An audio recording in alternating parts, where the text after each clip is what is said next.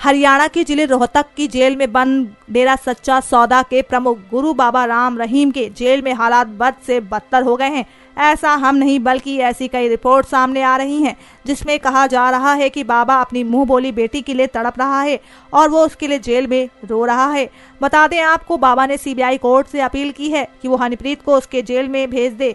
बाबा ने दलील दी है कि हनप्रीत उसकी फिजियोथेरेपिस्ट होने के साथ साथ मसाज करने वाली भी है। तो वहीं इसके साथ ही कहा जा रहा है कि वो जेल में खाना नहीं खा रहा है, यही नहीं, उसे अपनी सजा का ऐसा सदमा लग गया है कि वो पागलों की तरह व्यवहार कर रहा है। बता दें आपको इस बात का खुलासा दलित नेता स्वदेश किराट ने किया है, जो कि रोहतक जेल में कुछ दिन थे और किराट की सेल राम रहीम के बगल में ही थी। किराट ने बताया कि राम रहीम सबसे यही पूछ रहा है कि मेरी क्या गलती है, मैंने क्या किया है? वो खड़ा हो पाने की हालत में भी नहीं था।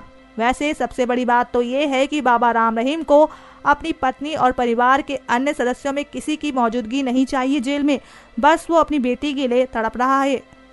जानकारी दे दें आपको कि हनीप्रीत ने भी बाबा के साथ रहने की एक याचिका कोर्ट में दायर की थी, मगर अदालत ने उसकी याचिका खारिज कर दी।